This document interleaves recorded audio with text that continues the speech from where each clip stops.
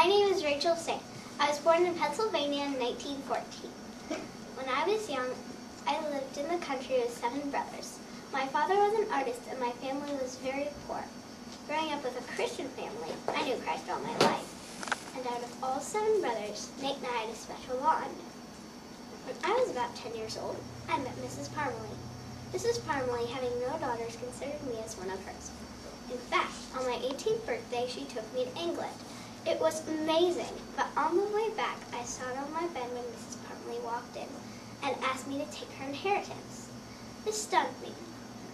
Then I, then I went out on deck to see the sunrise. Sometime in the night, I had decided that the rich life was, was not the life for me. Then suddenly, I wasn't on deck anymore. I was in the jungle seeing two brown-skinned, half-naked people beckoning me to come. Then they vanished. Soon later, I went to mission language school and finally found a tribe in Quito, Ecuador, who killed all who entered. So, then I went to a man who had three servants. One of them knew Auca language. I learned from her, Dayuma. Soon later, we heard news about Nate. Nate and his four fellow missionaries had been speared by Aucas. I felt my heart break a thousand heartbreaks.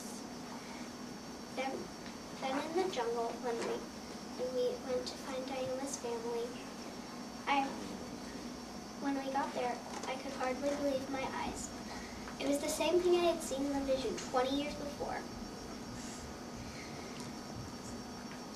Um, then I told them about how God loved them and would forgive them for all their killing.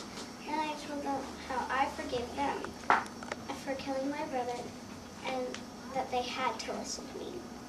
Because I forgave them, they began to open their ears to the good news of Jesus. Then in 1994, I died of cancer and was buried by the Auca Church.